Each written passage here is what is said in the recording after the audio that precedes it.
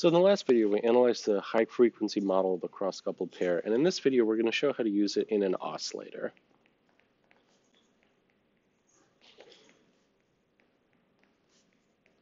So we showed that the cross-coupled pair, if you draw it out like so, um, it has a negative real input impedance or input admittance. So if you take it and you connect it as if it were a resistor or a capacitor or anything else, you'd get an impedance Zn that's equal to minus Gm over 2 times 1 minus 1 over GMRO. Uh, that's the that's the real part, and then you'd get a uh, an imaginary part, which is equal to j omega times CGS plus C dB plus 4 CGD. And there's a, a 1 half out front as well. So okay, that's that's the model of our cross-coupled pair, but how do we actually use it in an oscillator? Well, um, if we just take the naive approach, which is what I always do initially, because where else are we going to start from? Uh, let's just connect an RLC circuit up top. So we've got a value R, you've got an inductor L, and we've got a capacitor C. And then we've got our cross-coupled pair. So we just connected like this.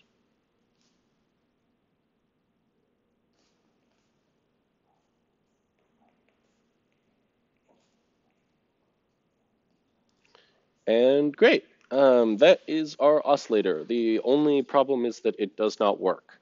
Uh, so remember I talked about how we need to have a way of causing a certain voltage to exist across this capacitor initially. Um, so we need to add some initial energy to the circuit in order for it to oscillate. And here we're only, our circuit is only connected to ground. Um, so there's there's no way to get energy into the circuit. On top of that, our two transistors don't actually act like their small signal model because we need to ensure that for them to act like they're in the small signal regime, if you will, um, they need to be biased properly. And there's no biasing in this circuit whatsoever. So what we can do uh, is a little trick. So remember how in the last video we said, well, we've got this with this voltage V1 and this voltage minus V1. And in the last video, there was a capacitor. So I'm just going to draw it like that first.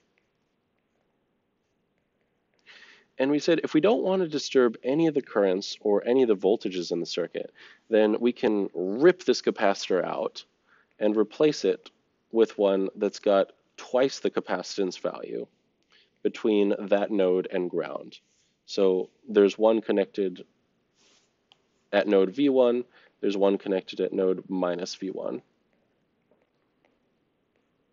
And the cool part is we can do this with resistors too. Uh, so if we don't want the current to change, uh, we want, so V1 minus negative V1 over R, that's the current, is 2V1 over R. Well, if we were to connect a resistor between this node and ground, it would need to have value R over 2 because V1 divided by R over 2 is just 2V1 over R which is the same current that we had initially. So the current is undisturbed. Sorry about that. And similarly, we can connect another resistor to node minus V1, also with value R over 2. So we're going to do that here. Uh, we are going to split this circuit, basically. We're going to split this R, this L, and this C. It's an equivalent circuit. Um, so we're still going to have cancellation of the negative resistance that we want, but we need to split it up so that we can actually um, physically realize it. So this value, this circuit now has a resistor R over 2. Just look uh, up at the top for a reference. So I'm splitting it. I'm splitting these into two different resistors, two different inductors, and two different capacitors. And now you'll see that the resistance value halves, but remember the capacitor value doubles. That's because the capacitor impedance is proportional to 1 over C, while resistors are proportional to R, and inductors are proportional to L. So L's are going to decrease by half, capacitors are going to increase by, by double. So we've got value R over 2, L over 2, and 2C. And these are all connected now instead of to the other node, they're connected to ground. And similarly, on the other side of the cross-coupled pair, we've got the same thing, R over 2, L over 2, and 2C. So if you've never seen this kind of transformation before, it can look a little bizarre, but it's, oops, uh, but it's incredibly helpful and it lets us do really cool things uh, with the circuit. And then this is still connected to the same old uh, cross-coupled pair. Nothing's changed about that.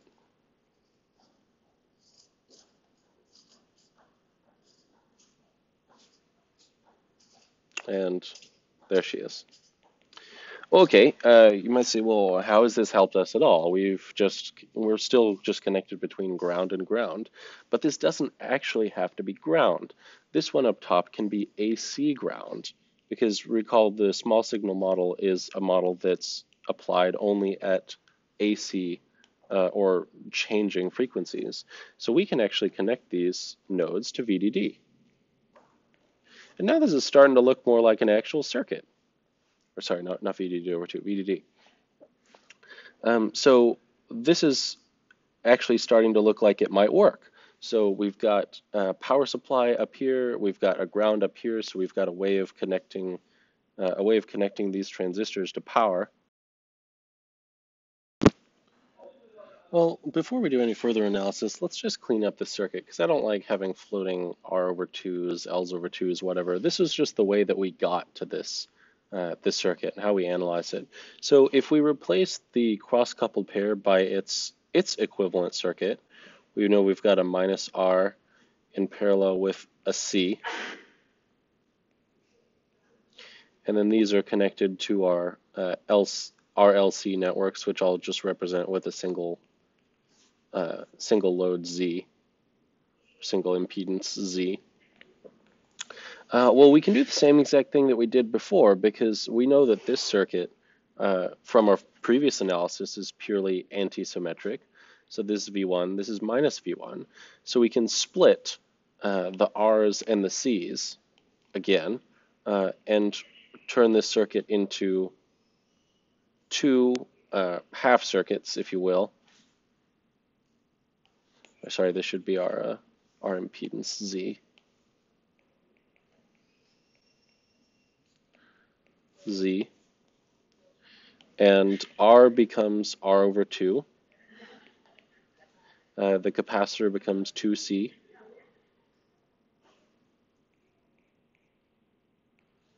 And those are both connected to ground.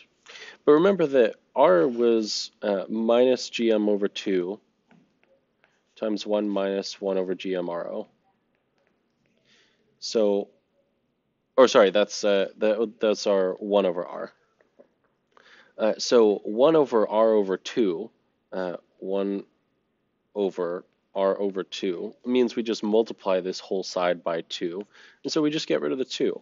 Uh, so our impedance, input impedance on each side is actually much simpler. It's just minus gm times 1 over gm ro. So if instead of doing these uh, L over 2, R over 2, 2C, if we just re, uh, redraw the whole circuit uh, with some resistance R, because now we get to choose the values of R, L, and C, so they don't need to be half of anything. They can just be values that we, we pick. And then we've got our cross-coupled pair. And another R L, and C.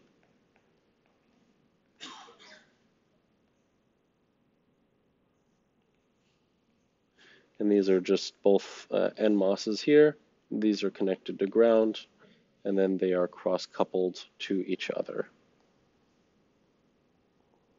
Well, the uh, this guy essentially reduces to an impedance or an admittance of minus GM times 1 plus 1 over GMRO.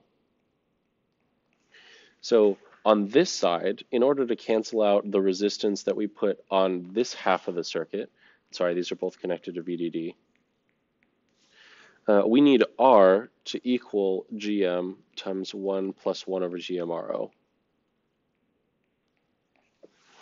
And that's simple. Like it, it, doesn't require any cancellation of twos or anything whatsoever. It's just nice and nice and straightforward. So this is uh, this this is going to be our starting point for the next video, where we'll actually complete the design of our cross-coupled pair oscillator.